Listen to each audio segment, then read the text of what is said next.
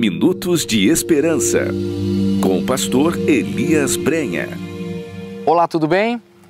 Os versos de hoje estão no livro de Salmos, capítulo 63, verso 1, 7 e 8. Ó Deus, tu és o meu Deus forte.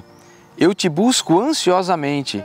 A minha alma tem sede de ti, meu corpo te almeja, como terra árida, exausta, sem água porque tu me tens sido auxílio, à sombra das tuas asas eu canto jubiloso, a minha alma pega-se a ti, a tua destra me ampara. Esse é um salmo que Davi compôs no deserto de Judá, possivelmente quando ele estava fugindo do rei Saul. O interessante é que mesmo em uma condição desfavorável, Davi não faz nenhuma petição nesse salmo. Ele apenas expressa louvor, alegria e desejo por estar em uma comunhão maior com Deus. Davi não olha para o passado com algum tipo de remorso, também não olha para os perigos do seu momento presente, mas ele olha para o alto, louva o Deus forte e reafirma sua fé e seu amor por ele. A grande pergunta a ser respondida é a seguinte: por que ele faz isso se ele tinha motivos para se desanimar e até motivos para questionar a Deus? A resposta é simples. Porque ele confiava e conhecia o grande poder de Deus. Davi conhecia quem era Deus e, por conhecê-lo, sabia que ele era forte e auxiliador. É por isso que ele diz: Porque tu me tens sido auxílio.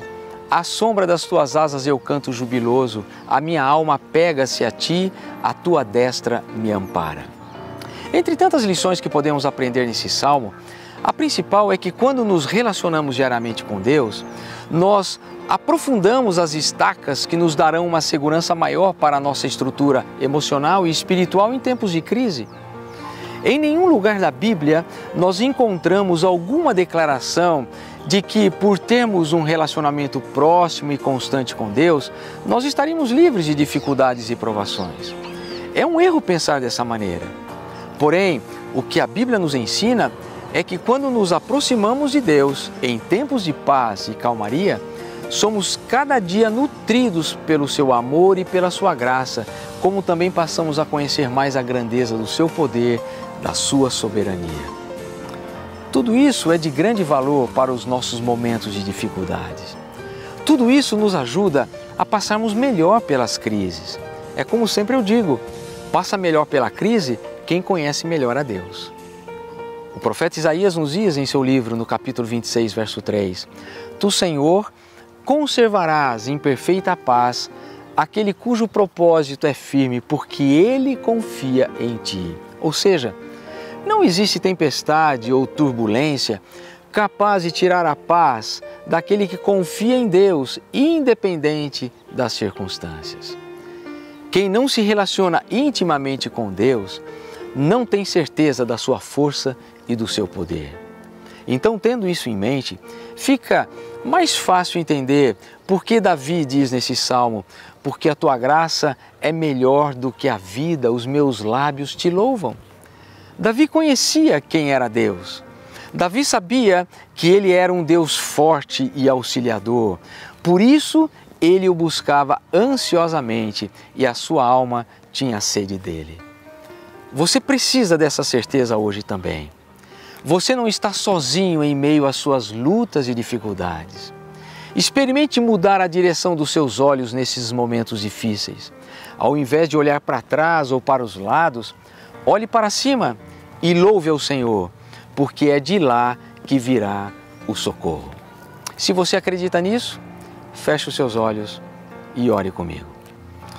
Querido Deus, querido Pai, mais uma vez nos colocamos diante do Senhor com humildade, reconhecendo que o Senhor é um Deus forte e auxiliador, reconhecendo que o Senhor pode todas as coisas, reconhecendo que somos fracos, incapazes. E o que aprendemos através desse salmo, Senhor, é que quando nos relacionamos contigo de maneira mais íntima e próxima, passamos a conhecê-lo melhor passamos a conhecer a tua força, a tua soberania. E é nessa força e nessa soberania que nós queremos nos apegar hoje.